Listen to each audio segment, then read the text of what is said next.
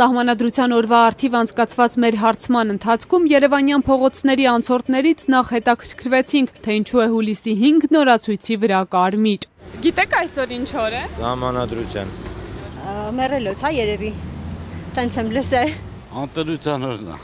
Քաղաքական ոչ մի բանից տեղյակ չեք։ Տեղյակ եք ինչ օր է։ Ոչ, Սահմանադրության օրն է Հայաստանի։ այմա իմացա։ Չեմ կան, չեմ։ Սահմանադրության օրն է։ Այսօր Այո։ չգիտեինք։ Անցորդներից հետաքրքրվեցինք նաև տեղյակ են, թե սահմանադրական փոփոխություններից հետո Հայաստանում կառավարման ինչպիսի համակարգ է։ Նախագահական ընտրություններ լինելու են տեղյակ եք։ Չէ, տեղյակ չեմ ճիշտ ասեմ։ Ես քաղաքականությունից շատ հեռու եմ։ Չեմ էլ ուզում մոտի կլնեմ։ Դե առայժմ պրեզիդենտական է, բայց հետո ինչ-որ խոսակցություն կա, պետքա լինի պարլամենտական, հա։ Առաջիկայում մենք նախագահ ընտրելու ենք։ Հա, Ընտրելու ենք։ հա։ Ես ոչ ոքի չեմ ընտրելու, ինձ համար լրիվ միևնույն է ով կընտրվի։ Չեմ կարող ասեմ։ Խորհրդարանական։ Նախագահական։ Հիմա արդեն հազեն է ընդունվել։ Հազեն Ընդունվել է։ Ում է պատկանում Հայաստանում իշխանությունը։ Հարց ուղեցինք նաև սահմանադրության երկրորդ հոդվածի վերաբերյալ։ Իշխանությունը պետքա որ ժողովրդին պատկանի, բայց ցավոք սրտի տենց չի։ չգիտեմ, պիտի պատկանի ժողովրդին, չէ։ Բայց որքանով է դա այդպես։ Ժողովրդին։ հմ, Ժողովրդին։ Բայց մենք եք իրանց պատկանում, որ հակառակը պետք է էլի։ Եվ օրենքի արժև բոլորը հավասար են Հայաստանում։ Վայ։ Խորհրդարանը, վարչապետի։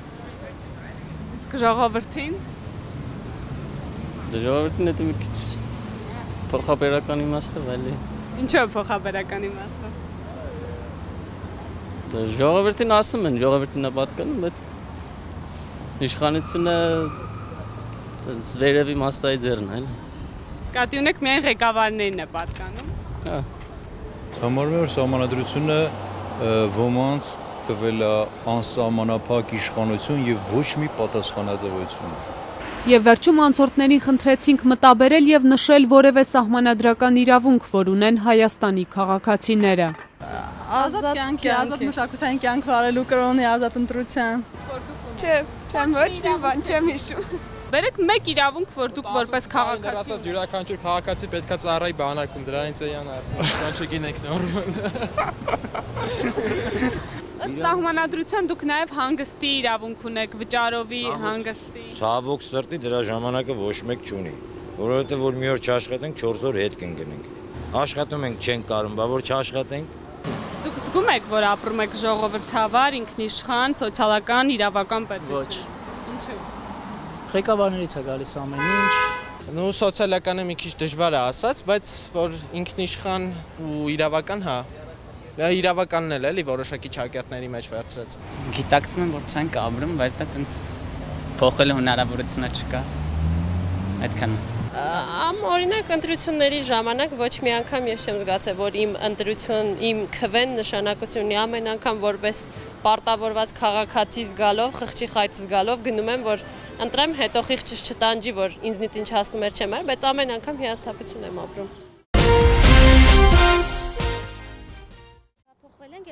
Ամեն տարի Արփի Եղիազարյանն ավտոբուսով է գնում Մոսկվա ծնողներին տեսակցելու, վճարելով ընդամենը 25000 դրամ։ Այս անգամ ստիպված է հետաձգել այցը։ Լսել է, որ Հայաստանը Ռուսաստանին կապող ցամաքային միակ ճանապարհը Վերին Լարսի անցակետը փակվել է։ Որոշել էր ինքնաթիռով մեկնել, բայց ավիափոխադրող ընկերությունների գրասենյակներից տեղեկացել է, որ Լարսի անցակետի փակման պատճառով ինքնաթիռի տոմսի գները մի քանի անգամ թանկացել են։ Տենց 25000 դրամ եթե տալիս էի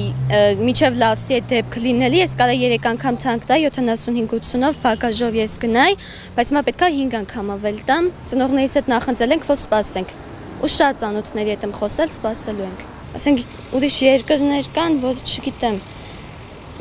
կեժանացնեին ավելի 80000-ից, որ իրանց քաղաքացիների համար հարմար լինի, ոչ թե ասենք 50000 ավել աշխատային։ Ռոստովում բնակվող Ռուզան Հարությունյանը նույնպես հրաժարվել է այս օրերին մորը Հայաստան ճանապարհելու մտքից։ 10 օր է ինչ ուսումնասիրում է Ռուսաստանից Հայաստան չվերթների գները ու տարակուսած է որոշ ուղություններով այդ գները ոչ թե կրկնակի, այլ երակի ու քարակի են բարձրացել։ Անցած տարվա գներին համեմատենք, երբ Aeroflot-ը իրականացնում էր թռիչքներ, ես ինքս մեկնել եմ 3500, վերադարձել եմ 4500։ Հիմա թվերը 4 անգամ, 3-4 անգամ հաշվեք ավելի բարձր։ Հենց այսօր նայել եմ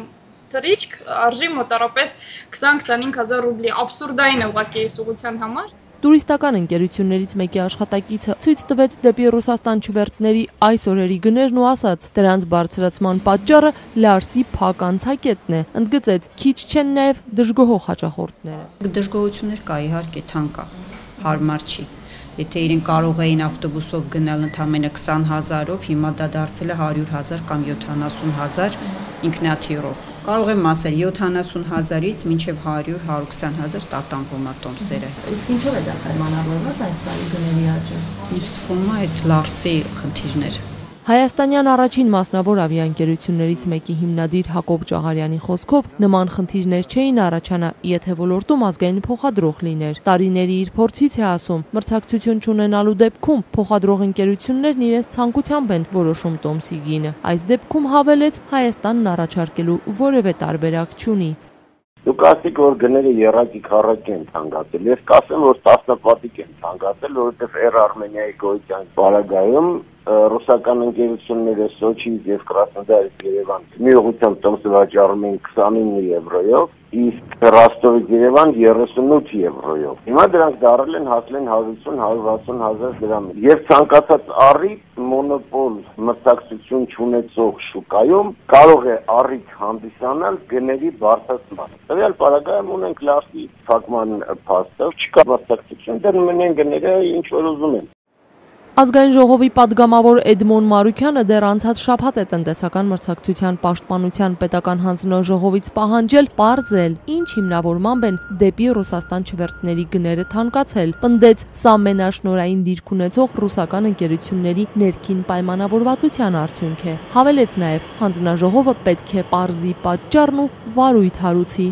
ոչ ավիակերոսինն է թանկացել, ոչ ինչ որ այլ բան է փոխվել, ոչ հարկերն են ավելացել ավիատոմսերի վրա, որևէ բան չի փոխվել թանկանալու առումով։ Բացի այն, որ ուղղակի Հայաստանի միակ ցամաքային ճանապարհը փակվել է։ Հիմա ինչ, դա նշանակում որ պետք է ավիաընկերությունները իրար հետ պայմանավորվեն եւ այդ բեռը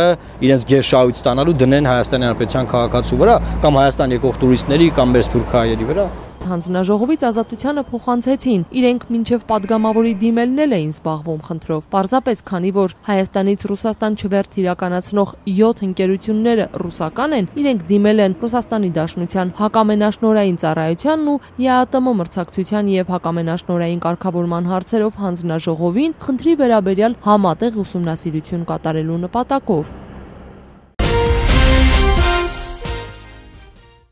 Կարգուտա հարվածը տվատները Երևանը դերը։ Շիրակի մարզի Մարմարշեն, Վարամաբերդ ու Կապս գյուղերի բնակիչները այսօր վաղ առավոտից փակել էին Գյումրի տանող ճանապարհը։ Երեք տեղացած կարկուտը զգալի վնաս էր հասցրել ու բերքը կորցրած գյուղացիները ճանապարհը փակելով ակնկալում էին պաշտոնյաների ուշադրությունը հրավիրել խնդրի վրա։ Մոտ 1 ժամ ճանապարհը փակ պահելուց եւ մարզային իշխանության ներկայացուցիչների ու ոստիկանների հետ բանակցություններից հետո գյուղացիները բացեցին ճանապարհը։ Այդուհանդերձ գրքերը չէին հանդարտվում ու գյուղացիները տարածքում գտնվող պաշտոնյաների հետ վեճի էին բռնվում, պահանջելով հակակարգտային կայաններ տեղադրել։ Մարմաշինի հայամ ամայք ինչ-որ չեն դնում։ Մարմաշինը իր համար առեթեր այդ սավտանը։ Ով կար դա։ Բարամաբեստը իր համար առեթերել է։ Չէ՞ մեծ աշտենել է, էլի քեզ կարտոզու ծոնես դու աշտել է։ Մարմաշինը առնելու համար համաֆինանսավորման տարբերակ կա։ Գյուղապետ գյուղապետարանը դուք ինչի մարեք գյուղապետարանը դու նախարարություն գյուղարությունը չի մարի մենակ փող առնելու մարդ ուրեմն շիրակի մարդ չի դակրեն ինձ դակշոր ավարտի հակակարտային առա դրված 50-ը գյուղապետ գյուղապետարաններն են առել պետք է հազարատ դրեք աբի չէ մետեղ մեջ չեն չէ գնում է սևա դաշտը չտեսնի Երեք ես դաշտի մեջն էի, հենց կարտոշկի բուգը գլացի, որ կարգուտ նեկավ, իստակ լեղկես տացավ կետի։ Այս կառավարությունն է պես ժողովրդի մասին մտածող չհամեմարտ իրա ջեբին է մսած։ Եթե էսիկ չենենք հեշմարտը չեր գա, հեշմարտը դիրնելու չեր։ Ուսիկ շարունակվի գա։ Էպես Հայաստանի գլեր նոր կրադենք։ Բետերը գնի։ Կարգուդը եկա ապերձավ նոր սկսեցին Կիրովագանից Զանջինսի նոր կրադեք։ Նոր սկսին կրադիլը։ Արդեն սա ավիրես պերձավ։ Գիտեմ որ այս պետությունը ոչ մի գումար չի փոխադուցե, Մենակ կոնե հագակարգտային կայան դնեն, պարտկով կանեն, ինչ կանեն անեն։ Ոչ մի բանը չի մնաց սպետայլեր ինչ կա։ Գյուղապետարանից ծորենն արեց հանել են, կեմի երկուս կուկան կսեն փողը տվեք։ Բայց ուր դից տաս, եդիկտի քաղեմ որ ես բանեմ ծախեմ տամ, չէ գյուղապետարանի փողը։ 160 դրամ։ Բայց ուր դից տամ ես։ Բերը վերը 160 դրամ ծորեն են ծախ։ Եմի ես դա պետք է վերադարձնեմ 160 դրամով փողի հետ, բայց չունին վերադարձնելու։ Որտեղ ես վերադարձնեմ, որ չհարտել է։ Ես պետք է նորից վարկ վերցնեմ, որ այդ մարդկանց փողը տանեմ տան։ Իսկ պարտքի վարկի տակ է գնում։ Պատպես կուղել։ Ունեիք էլ վարկ։ Հա, բչում։ Վարգով եմ երեդ ամեն ինչը։ Մի նորից պետք է վերցնեմ։ Ես իմ կուդան։ Երեկվա կարկտահարությունից դուրել են հարևան 5 համայնքներ։ Գրեթե 1 օր անց դաշտերում դեռ խոշոր կարկտահատիկներ կային։ Այս չափի կարգուտ, հա։ Ինչքան տևեց այդ Տևել է ուղիղ 18 րոպե։ ու ամբողջ դաշտերը հա։ Լավ, այսպես պլաշնը բեռնաս կուկա։ Այս արդեն ինչքան ժամ հետո է։ Սիգարտեն 24 ժամ համարը անցել է։ Գյուղացիները ամեն մեկը իր ցանկատարածություններ տանում ու ցույց տալիս, թե ինչ վնասներ է կրել։ Սրա մեջ ոչինչ չկա։ Ոչինչ չկա, էլ ինչ վերի դադար։ Всё, всё կիսա դերգու հատ բան է մնացել վերեն։ Իսկ մենակ անասնակեն է կենաս քաղը տանից։ Գալող չկա, հա։ Հա։ Բերեն հադիկ կա։ Գյուղացիները պահանջում էին նաև, որ վարչապետն անձամբ գա տեսնի իրենց կրած վնասները, հասկանալու համար արդյոք կառավարությունը կարձագանքի կոգնի գյուղացուն, թե կթողնի միայնակ պարտքերի ու վարկերի հետ։ Գյուղացիները համենայն դեպս չեն պատրաստվում ձեռքները ծալած նստել, ասացին համապատասխան արձագանք չստանալու դեպքում ճանապարհը կրկին կփակեն։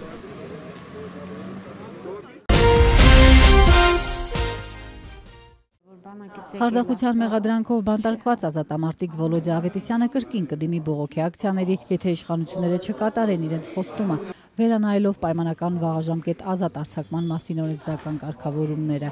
Ազատության այդ զրույցում ի պաշտպանություն Ավետիսյանի նախաձեռնող խմբի համակարգող Գագիկ Սարուխանյանն ասաց, որ օրեր առաջ հացադուլը դադարեցրած Պայստազորի գնդապետ Ավետիսյանը սպասում է արդարադատության նախարարության պաշտոնյաների առաջարկած փոփոխություններին։ Փաշայի կարգավիճակ, հա, խանի կարգավիճակ։ Այսինքն թագավորն ասեց թողեք, թողեն, թագավորն ասեց մի թողեք, չեն թողի։ Եվ այսօր երբ որ կոռուպցիայի դեմ պայքար են մղում մեր կառավարությունը, հա, սենց պայմանական կոչենք մեր մի քանի հատ հնամաշ մեքենա են դուրս գնում, յանում տեսեք, տեսեք, կոռուպցիայի դեմ պայքարում ենք։ Պայքարեք հենց կոռուպցիայի կիզակետ հանդիսացող այդ հանձնաժողովի դեմ։ 7 օր հացադուլի մեջ եղած ազատամարտիկը կնոջ միջոցով բացնամակ էր տարածել, բողոքելով պայմանական վաղաժամկետ ազատ արձակման անկախ հանձնաժողովից։ Արդեն 3 տարի անազատության մեջ գտնվող Ավետիսյանին հանձնաժողովը 4 անգամ մերժել է վաղաժամ ազատ արձակել, 4 անգամներ առանց որևէ պատճառաբանություն ներկայացնելու։ Սարուխանյանը պնդում է հանձնաժողովը կամայական որոշումներ է կայացնում։ Մի բանտարկյալի կարող է վաղաժամկետ ազատ արձակել, մյուսին ոչ։ Հիմնականում ուժային կառույցների պաշտոնյաներից բաղկացած հանձնաժողովն իր որոշման մեջ ընդամենը մեկ բառ է գրում՝ մերժել։ Միջդեռ գոնե մեկ նախադասությամբ կարող էին նշել մերժման պատճառները։ Ավետիսյանի դժգոհությունն է փոխանցում Սարուխանյանը։ Ինչու համար այդ մեկին բավարարել, ինչու համար են 19-ին մերժել, քար լռություն։ 6 տարվա ազատազրկման դատապարտված ազատամարտիկը իր բաց նամակում գրել էր, որ իրենք Վարդաշեն քրեակատարողականի մի խումբ դատապարտյալներ գիտեն, որ դատարանն իրենց զրկել է ազատ տեղաշարժվելու իրավունքից, ոչ թե մտածելու, օրենքից օգտվելու, քնելու, բուժվելու, տեսակցություն ստանալու, վաղաժամկետ ազատվելու եւ բաց ռեժիմին անցնելու իրավունքից։ Ավետիսյանի այս հայտարարությունից հետո բանտ էին այցելել արդարադատության նախարարության աշխատակիցները։ Վերջիներս ազատամարտիկին խոստացել էին, որ հանձնաժողովի գործունեությանը վերաբերող օրինագիծը որն առաջիկայում կներկայացվի խորհրդարան լուծում կտա Ավետիսյանի բարձրաձայնած խնդիրներին։ Միջդեռ նրա հարազատներն ու գաղափարակից ընկերները հիշեցնում են, որ նման խոստում Ավետիսյանը ստացել էր դեռ անցած նոյեմբերին հացադուլը դադարեցնելուց հետո։ Ազատամարտիկի կինը Մարգարիտա Բաղրամյանը իշխանություններից ակնկալիքներ չունի։ Ինչ չի թվում, որ կատարեն իրենց խոստումները, արդարադատության նախարարը ինչ որ ասել էր, նայվում ենք այդ գործը ընթացքի մեջ է, բայց դա սուտ է չի լինի։ Տենց բան չի լինի, որ ճիշտ արդարացնեն ու այդ գործը նայեն։ Իրան հույս են տալիս։ Իրենք իրենց հույս են տալիս։ Ավետիսյանին հո հույս չեն տա։ Իրենց են հույս տալի, որ այդ գործը նայում ենք։ Վերնգնեմ ո՞տ սկոտրի դիարի։ Ոչի։ Խաշթարակցիներն արդեն մի քանի օր չեն կարողանում գյուղի գերեզմանոց եկեղեցի ու դպրոց հասնել։ Երկու օր առաջ տեղացած ուժեղ անձրևից հետո հեղեղը քանդել է գյուղի ճանապարհները, վնասել գազատարը, տներն ու հողամասերը։ Մր հասարակական ճամփան է սա։ Մր եկեղեցու ճամփան, մր գերեզմանի ճամփան, վրա մնորյա։ Սա որ փուկա մի մաշին դագաղնի չնդանում, հայ ինգլիզ գեզնե չտոր ցավը տանը, վերջը դրա համար մտածել է պետք։ Դույլերով տեղափոխի, որտեղ տեղափոխի, սա ներքև 2-300 մետր ներքև է։ Էլի վերև տեղափոխի, որ ստեղ էլի քար կրի, ավազ կրի, որ կրնա սարքի ինչ ասա։ Այնա հասելա տան հիմքի 2 մետր ունացել որ հենապատել։ Գյուղացիների խոսքով ամենանձրևի հետ նույն վիճակում են հայտնվում, քանի որ ջրահեռացման համակարգ չունեն։ Ամիսներ առաջ դոնոր կազմակերպությունների գումարներով վերանորոգված ճանապարհն էլ գյուղի մյուս անբարեկարգ ճանապարհներից ավելի վատ վիճակում է հայտնվել։ Իսկ ճանապարհը լրիվ 7-8 կիլոմետր յուրից հով են կրել, իրել, սարքել, խնդրեմ վիճակը տեհեք։ Նորից պետք է սարքվի, նորից հնարավորություններ չկա, նորից պետք է իրենց դեմանում, որպեսզի սարքվի։ Կառավարությունից խաշթարակցիները որևէ աջակցություն չեն ստացել։ Համայնքի բյուջեն էլ բավարար չէ նորոգման աշխատանքներ իրականացնելու համար։ Գյուղն արդեն 10 ամիս ղեկավարող Անդրանիկ Վիրաբյանի խոսքով իրենք միայնակ չեն կարողանում բնականաղետի հետևանքները վերացնել։ Գյուղի դիրքն այնպեսին է, որ յուրաքանչյուր անձրևի դեպքում եթե դիմաց համայնքներին վնաս չի պատճառում, մեր համայնքում պատճառում է։ Քանի որ դիրքը ուղիղ չի, հարթ չի, եւ սելավաջերերը, անձրևաջերերը լրի հավաքում է ու ճունեմ ջրահեռացում չկա համայնքում, ճանապարհները նեղ են։ Դա այդպես էլ եղել այնպես չի որ իմ շնորհիվ է կամ իմ օրոք այդպես այդ խնդիրն առաջացել։ Բյուջե չունենք, միջոցներ չունենք ճանապարհները վերանորոգելու համար։ Չգիտենք ինչ անենք կամ որտեղ միջոցներ հայտարարենք։ Համայնքի ղեկավարի խոսքով սելավները Արթունձին նույնպես խանգարել են դաշտամիջյան ճանապարհներ են քանդվել։ Գյուղապետի նախնական գնահատականներով մոտ 6 կիլոմետր ճանապարհ անանցանելի է դարձել։ Բնակիչները բողոքում են, ժամանակն է, որպիսի ղեկավարությունը սահմանամերձ խաշթարակի խնդիրների մասին մտածի։ Գյուղ են գալիս միայն ընտրությունների օրերին դժգոհում են նրանք։ Թող պետությունը մտածի, ճամփի այս ներքևի մասը պատի, ցավը տանը ճամփը սիրուն ակուրատնի սարքվի, սա կենտրոնական ճամփա է ցավը տանեմ։ Սա մենակ մեր թաղինի չի, մեր գյուղինի չի, կենտրոնական ամբողջ աշխարհին ստեղ հե հուշարձան ունենք, զոհվածներ հուշարձան ունենք, եկեղեցի ունենք, մեր գերեզմանը դե ամբողջ գյուղը էս էս ճանապարհով ակին։ Եկել այն դարը որտեղ էշ պետք է առնենք, իշ արդեն մալուրը մեր հացը ջուրը պիրենք։ Ճամփա չունենք, հա ինչա բնություն է, սալը եկել տարել հա, հենա արդիկը մը տարա, ընդեղը տարա, ընդեղը տարա, սարքվում են մարդիկ։ Ու որ գյուղը ինչ անենք, սահմանամերձ գոտի է, չեն ուզում սարքել։ Չեն ուզում թող չսարքեն, մքյա չեն կընտրի։ 76-ամյա Երանիկ Ղազարյանի խոսքով շուրջ 2000 բնակիչ ունեցող գյուղն անուշադրության է մատնվել, այստեղ հիմնականում ծերեր են մնացել։ Բլութերից հետար մակորցնում, սոված նստած ենք, մի մալը օգնություն չկա, միաստեղ օգնություն չկա։ Էմինը բալակից եկած աշխատանք չկա աշխատի 8 հոգի ենք, եմ մրտամ միջին 9 հոգի ենք։ Սովխոզում աշխատել ենք երկու հոգով 5 երեխա ունեցել ենք։ Ստիան հետ լավ պահել։ Բահմի ես ինչա աշխարհը քանի առաջակիր մնգետ ենք քինը Թբիլիսիում այսօր ավարտվող ԵԱՀԿ 25-րդ խորհրդարանական վեաժողովի հիմնական թեման Ղրիմի եւ Դոնբասի շուրջ ռուս-ուկրաինական հակասություններն էին։ Ուկրաինացի падգամավորները փորձում էին արգելափակել Ռուսաստանի Պետդումա եւ Դաշնային խորհրդի ներկայացուցիչների հանդեպ պատժամիջոցներ հանելը, իսկ ռուս падգամավորները իրենց բողոքն էին արտահայտում հակառուսական քաղաքականացված որոշումների նախագծերի վերաբերյալ, որ ներկայացնում էին Ուկրաինան եւ Վրաստանը։ Ռուսները լքեցին խորհրդարանական վեաժողովի մշտական հանձնաժողովի դահլիճը, երբ կոմիտեն հաստատեց Ղրիմում մարդու իրավունքների խախտումների վերաբերյալ որոշումը։ Ռուսները նաև դժգոհ էին Աբխազիայի եւ Հարավային Օսետիայի վերաբերյալ բանաձևերից, որ պատրաստել էր վրացական պատվիրակությունը։ Ըստ ռուսական պատվիրակության ղեկավար Նիկոլայ Կավալյովի, այն քաղաքականացված է եւ չի արտահայտում Աբխազ եւ Օսետ ժողովուրդների կամքը։ ԵԱԿ խորհրդարանական վեաժողովի ընդունած հրճակագրումը անդրադարձ կա նաեւ Լեռնային Ղարաբաղի հակամարտությանը։ ԵԱԿ խորհրդարանական վեաժողովը մտահոգություն է հայտնել Լեռնային Ղարաբաղի իրավիճակի լարման առնչությամբ եւ ողջունել ԵԱԿ տարածքում ձգձգվող հակամարտությունների քաղաքական լուծման ուղղությամբ բանակցությունների ձևաչափերի եւ մեխանիզմների հաստատման նպատակով ԵԱՀԿ նախագահության ակտիվ ներգրավվածությունը։ Կոչ են կանում խորհրդարանականներին խրախուսել կողմերի քաղաքական կամքը, ներդնելու լուրջ ջանքեր հասնելու վստահության միջոցների կառուցման համաձայնության, նվազեցնելու Լեռնային Ղարաբաղի հակամարտության գոտում հետագա ռազմական բախումների ռիսկը, Մինսկի խմբի շրջանակներում հասնելու բանակցված եւ համակողմանի լուծման, ասված է արճակագրում։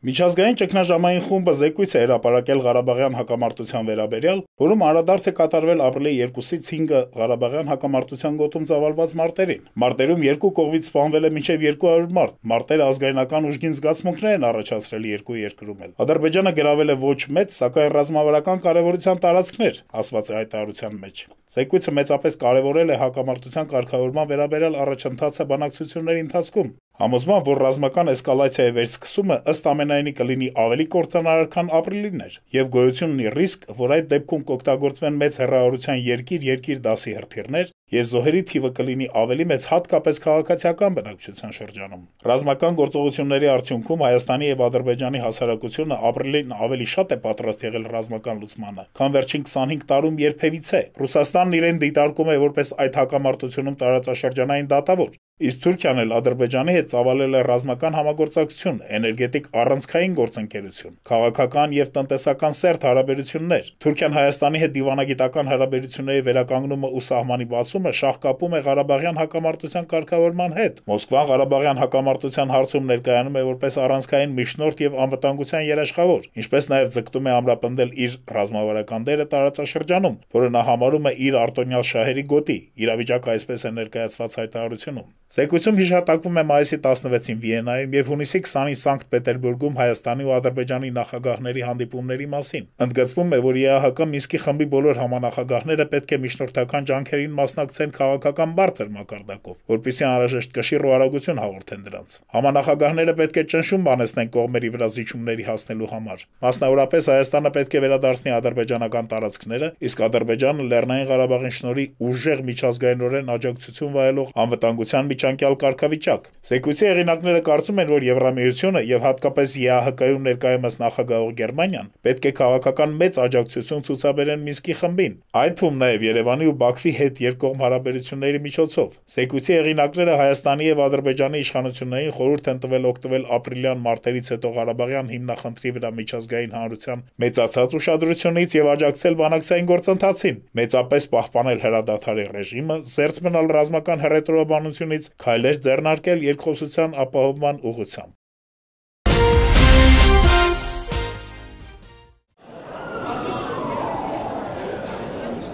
Թուրքիայի նախագահ Ռեջեփ Էրդողանը հաստատել է նախկին խորհրդային երկրների քաղաքացիների մասնակցությունը Ստամբուլի օթանավակայանում տեղի ունեցած ահաբեկչությանը, որն ավելի քան 4 տասնյակ մարդու կյանք է խլել։ Ելույթ ունենալով լրագրողների առաջ Ուրազ Բայրամ տոնի կապակցությամբ աղոթքից հետո Թուրքիայի նախագահը հայտնել է, որ օթանավակայանում պայթունների գործով ձերբակալվել է 30 մարդ, նրա խոսքով կասկածյալները Ռուսաստանյան Դաղստանի Հանրապետությունից են, Ղրղստանից եւ Տաջիկստանից։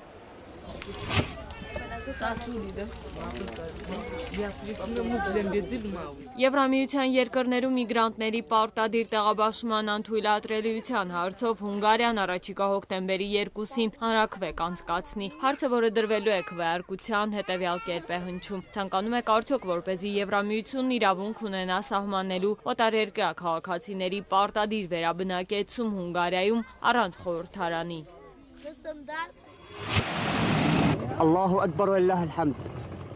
Amnesty International-ի զեկույցի համաձայն Միացյալ Նահանգների գլխավորած կոալիցիայի աջակցությունը վայելող մի քանի ապստամբ խմբավորումներ պատասխանատվություն են կրում Սիրիայում մարդկանց առևանգումների, խոշտանգումների եւ զանգվածային սպանությունների համար։ Կազմակերպությունը նշում է, որ այդ խմբավորումները խոշտանգումների նույն մեթոդներն են կիրառում, ինչ նախագահ Բաշար al-Ասադի ռեժիմը։ Զոհերը հիմնականում խաղաղ բնակիչներ են, այդ թվում երեխաներ, քրդեր, քրիստոնյաներ։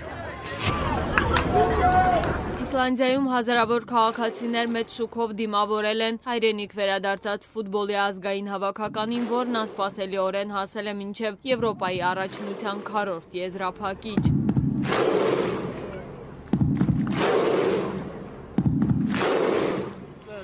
Միացյալ Նահանգների նախագահ Բարակ Օբաման Սպիտակ տան անկախության օրվա արդիվ մեծ խնջույքին երկել է իրավակ դստեր Մալիայի համար։ Ծննդյան օրը համընկել է Միացյալ Նահանգների անկախության օրվա հետ։ Այնպես է ստացվել, որ մեր երկրի անկախության տոնը համընկել է ավակ դստերս ծննդյան օրվա հետ։ Ոստի ես Մալիային կնվիրեմ մի կարճ կատարում, բեմից հայտարարել է Սպիտակ տան ղեկավարը։ Happy birthday to